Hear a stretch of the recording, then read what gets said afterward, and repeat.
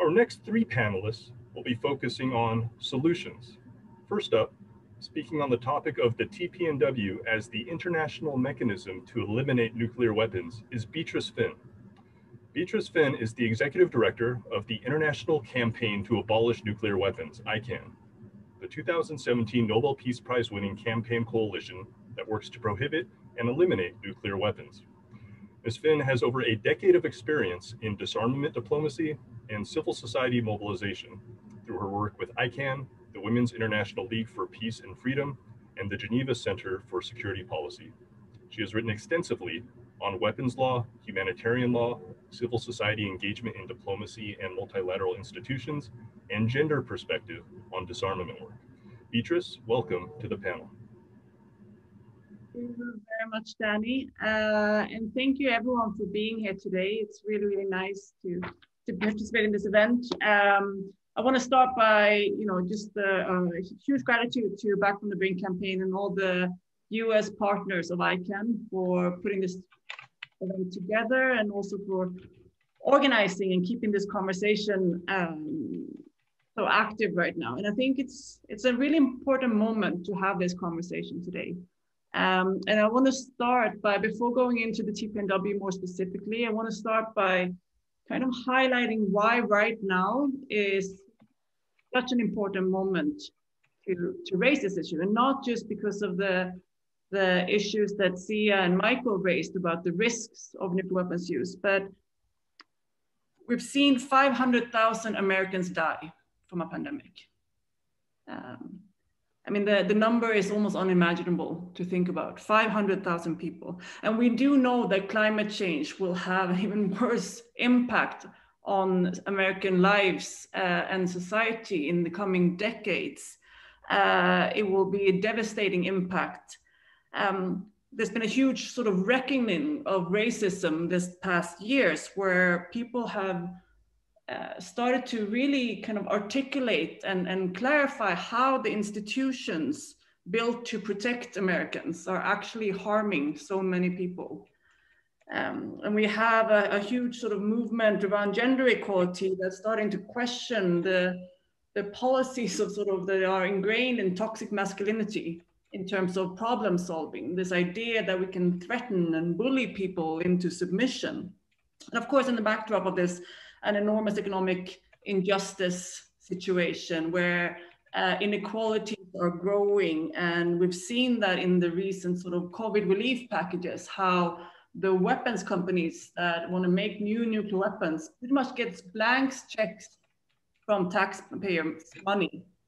But the country cannot afford to pay a $15 minimum wage to the people that they claim to be essential workers to have kept our society alive and running throughout this pandemic, or give $2,000 to American families that are struggling through this huge economic crisis. So I think that that's, you know, as a backdrop also, these are all issues that are extremely relevant when we talk about security and what protects us and how to look at nuclear weapons from those perspective is, is extremely, I think there's a, um, there's a readiness from people to start linking nuclear weapons with these issues right now. And I think it's something that we need to take advantage of. So that I think that's why it was such an, uh, a remarkable moment on 22nd of January when the Treaty on the Prohibition of Nuclear Weapons entered into force. Uh, a, a, huge moment that was marked by celebration and commemoration around the world uh, including loads of um, dozens of protests in the US at nuclear weapons laboratories, at bases, universities contributing to nuclear weapons. We saw a really huge turnout uh, despite the very challenging kind of conditions for organizing right now through the pandemic. And the treaties entering into force was really a, a hugely significant moment for international law and peace and security. And sometimes these treaties um, don't seem particularly important in, in, in, that moment when they appear. Uh, but we can really see over the decades later what an enormous impact they have on shif shifting our world and shifting our behavior. Uh, and this treaty really follows on to such you know, crucial instruments as the UN Charter that regulates when you can use, uh, how you can use um, war uh, and the Geneva Conventions on how to protect civilians in conflicts, the Biological Weapons Convention that bans bioweapons, the ban on chemical weapons, the ban on landmines, and now also we have a treaty banning nuclear weapons. And it's really, it's going to be growing in importance over the next decades, this treaty. Uh, so while we, of course, want to see immediate impact, I think this is something that these kind of treaties and these instruments are are tools that we can use to shift behavior and kind of shepherding countries into behaving in a certain way uh, in the future. And the treaty really builds on activism, decades of activism and leadership of survivors and impacted states to, to eliminate nuclear weapons. So I just want to quickly run through a little bit of what the treaty includes. It really breaks new legal ground.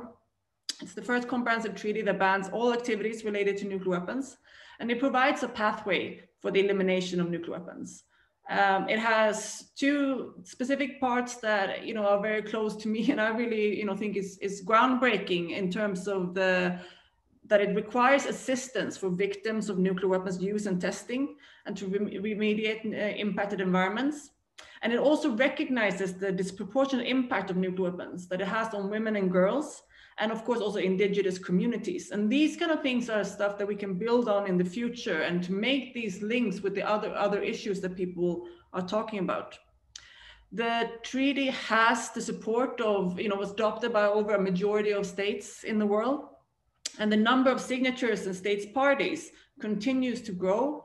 Uh, just last week, Comoros and Philippines became the latest states to ratify the treaty, bringing up to 54. And we know that many more are going to come in the future. And even in countries that don't yet support this treaty, we see really how polls shows that the public support these kind of instruments and supports the TPNW. Cities are not happy being targets of nuclear weapons uh, and support the treaty and wants that to wants the treaty to be the, the government to join the treaty and also many parliamentarians uh, and political representatives in countries are starting to support this treaty. Actually, 64% of Americans, according to a recent poll, supports joining the treaty on the prohibition of nuclear weapons. And the treaty will really have an impact, even if the United States have not yet signed it. Uh, the implementation of the TPNW by the states parties will make a difference. For example, on the victim assistance and environmental remediation provisions, which can create new international standards for addressing nuclear weapons humanitarian harm and really have a concrete impact on the communities that have been impacted by these weapons.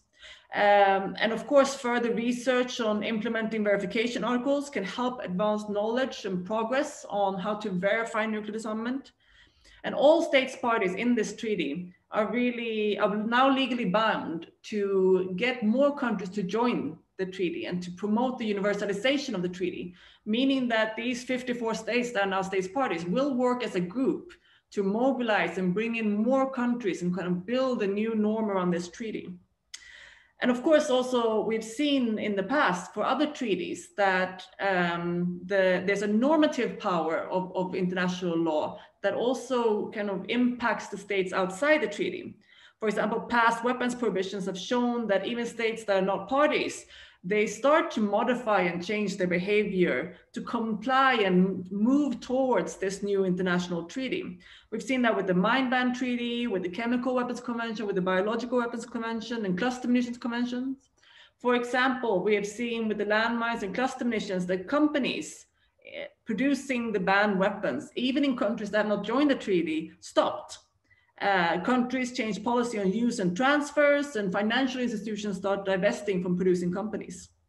So for the TPNW and the United States, um, the US, of course, has not joined the TPNW yet, but it will start feeling the impact of this treaty as it has done with other weapons prohibitions it has not yet joined. Uh, pressure is growing in the United States to join the treaty with civil society organizations calling for it, cities joining the ICAN Cities Appeal and the Back from the Brink initiatives um, the opinion, you know, public conversations, public pressure, Congress supports, and public opinion are starting to grow in favor of this. And the Biden administration right now has the opportunity to reverse previous administration's kind of ineffective and unhelpful approach to the treaty. Uh, and of course, first and foremost, the Biden administration should stand on the right side of the history and sign the TPNW and submit it to the Senate for the ratification. But of course, also in the meantime, it should really take steps when it to come into compliance with the treaty, uh, to set this new standard in international law, including stopping the production of any new nuclear weapons and negotiate further cuts on worldwide nuclear arsenals. The US government ha now has an opportunity to really look at this treaty as a helpful contribution, as a tool that can be used to get the world closer to nuclear disarmament. We know that it will take time. We've had 75 years with nuclear weapons. It's going to take time to reverse course. But the treaty can be this really helpful tool to start shifting perceptions and start moving away from nuclear weapons towards a, a different type of, of security scenario. So this is really, you know, a very exciting time and a, a, really crucial time. The risk of nuclear weapons use is increasing, but we're also seeing huge public mobilization to challenge these sort of established uh, methods of, of, of carrying out national security. So this is really the right moment to get engaged and to get involved and start growing awareness uh, around this issue and what needs to be done. Um, so I'm really excited also to, to see these workshops where I think we're going to go into details on really how regular people can contribute to this issue. I think sometimes it feels really overwhelming to people to feel, to know what can I do to this issue? So I would really encourage everyone who's here today to join the workshops to talk about specific ways of and to hear on the specific initiatives and ways where people can get involved and, and really change this issue and change the world. So thank you very much.